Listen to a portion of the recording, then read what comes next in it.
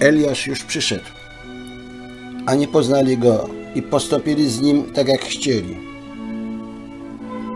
Tak i Syn Człowieczy będzie od nich cierpiał. Już nie będę z wami wiele mówił, nadchodzi bowiem władca tego świata. Nie ma on jednak nic swego we mnie.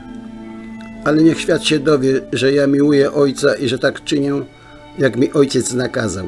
Wstańcie, idźmy stąd. Dlatego miłuje mnie Ojciec, bo ja życie moje oddaję. Oto nadeszła godzina i Syn Człowieczy zostanie wydany w ręce grzeszników.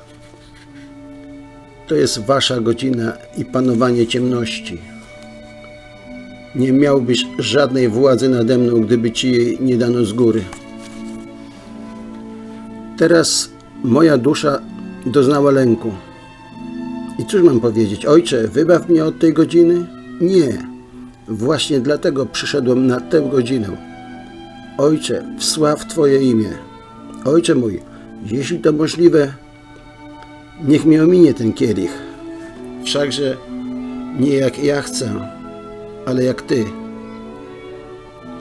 Powiedziałem Wam o tych rzeczach, abyście, gdy nadejdzie ich godzina, pamiętali o nich, że ja Wam to powiedziałem.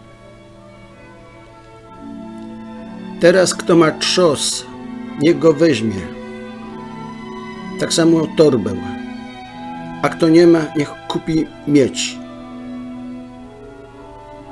Bądźcie chytrzy jako węże, a łagodni jako gołębice. Każdy ogniem będzie posolony. Kielich mój pić będziecie. Jeśli z zielonym drzewem to czynią, cóż się stanie z suchym? Ani on, on nie zgrzeszył, ani rodzice jego, ale stało się tak, aby się na nim objawiły sprawy Boże. Czyż myślicie, że ci zabici Galilejczycy byli większymi grzesznik, grzesznikami, że to ucierpieli? Bynajmniej. Albo myślicie, że owych osiemnastu, na których zwaliła się wieża w Siloe, było większymi winowajcami niż inni? Bynajmniej. Jeśli się nie nawrócicie, wszyscy tak samo zginiecie. Niepodobna, żeby nie przyszły zgorszenia, lecz biada temu, przez którego przychodzą.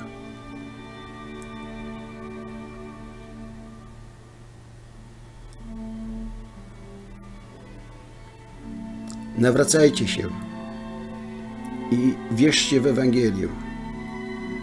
Każdemu, kto ma, będzie dodane. Także nadmiar mieć będzie. Królestwo niebieskie podobne jest do skarbu ukrytego w roli. Znalazł go pewien człowiek i ukrył ponownie. Z radości poszedł, sprzedał wszystko, co miał i kupił tę rolę.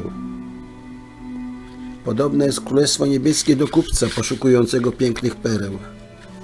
Gdy znalazł jedną drogocenną perłę, poszedł, sprzedał wszystko, co miał i kupił ją. Królestwo Boże nie przyjdzie dostrzegalnie i nie powiedzą, oto tu jest, albo tam. Oto bowiem Królestwo Boże pośród was jest.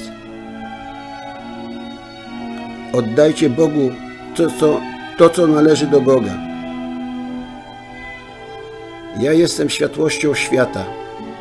Kto idzie za mną, nie będzie chodził w ciemności, lecz będzie miał światło życia. Kto we mnie wierzy, ma życie wieczne.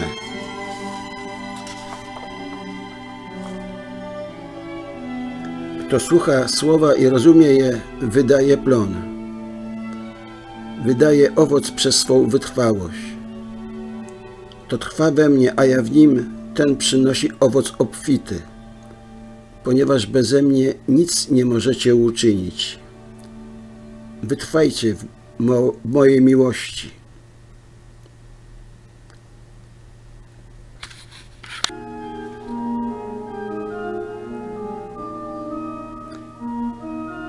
Jeśli będziecie zachowywać moje przykazania, będziecie trwać w miłości mojej, Każdy, kto jest prawdy, słucha mojego głosu. Nie każdy, który mi mówi Panie, wejdzie do Królestwa Niebieskiego, lecz ten, kto spełnia wolę mojego Ojca. Każdego, kto słów moich słucha i wypełnia je, można porównać z człowiekiem roztropnym, który dom swój zbudował na skalę.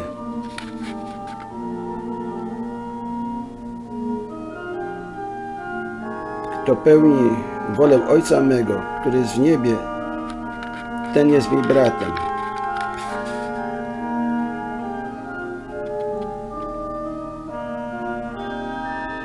Jeśli mnie miłujecie, będziecie zachowywać moje przykazania. Ja i Ojciec przyjdziemy do Niego i będziemy u Niego przebywać. Każdy, kto popełnia grzech, jest niewolnikiem grzechu. A niewolnik nie przebywa w domu na zawsze, lecz syn przebywa na zawsze. Jeśli więc, więc syn was wyzwoli, wówczas będziecie rzeczywiście wolni. Weźcie moje jarzmo na siebie, a znajdziecie ukojenie dla dusz waszych. Albowiem jarzmo moje jest słodkie, a brzemię lekkie. Odpuszczone są jej liczne grzechy, ponieważ bardzo umiłowała. Ale ten, komu mało się odpuszcza, mało miłuje. Dziś ze mną będziesz w raju.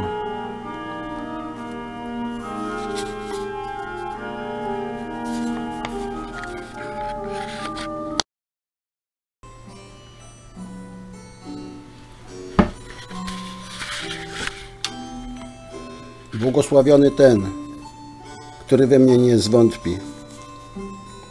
Jeżeli będziecie trwać w nauce mojej, będziecie moimi uczniami i poznacie prawdę, i prawda was wyzwoli. Kto wytrwa do końca, ten będzie zbawiony. Uważajcie na siebie, żeby ten dzień nie przyszedł na was znienacka jak potrzask. Niech będą przepasane biodra wasze i zapalone pochodnie. Głupcze, jeszcze tej nocy zażądają Twojej duszy. Kto straci swe życie z mego powodu, ten je zachowa. U was zaś nawet włosy na głowie wszystkie są policzone. Błogosławieni jesteście, gdy wam urągają i prześladują was. Cieszcie się i radujcie, albowiem wasza nagroda wielka jest w niebie. Nie bójcie się tych, którzy zabijają ciało, lecz duszy zabić nie mogą. Błogosławieni, którzy cierpią prześladowanie dla sprawiedliwości, albowiem do nich należy Królestwo Niebieskie. Zbuduję Kościół mój, a bramy piekielne go nie przemogą. Nie bój się, mała trzutko. U Boga wszystko jest możliwe. Czemu bojaźliwi jesteście małej wiary? Niech się nie trwoży serce wasze. W domu Ojca mego jest mieszkań wiele. Teraz doznajecie smutku, znowu jednak was zobaczę i rozraduje się serce wasze, a radości waszej nikt wam nie zdoła odebrać. Pokój zostawiam wam, pokój mój daję wam. Nie tak jak daje świat, ja wam daję.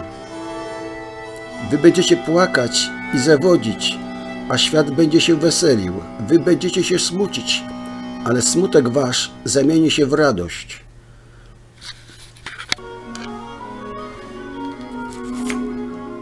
Ja nie jestem sam, bo Ojciec jest ze mną. To wam powiedziałem, abyście pokój we mnie mieli.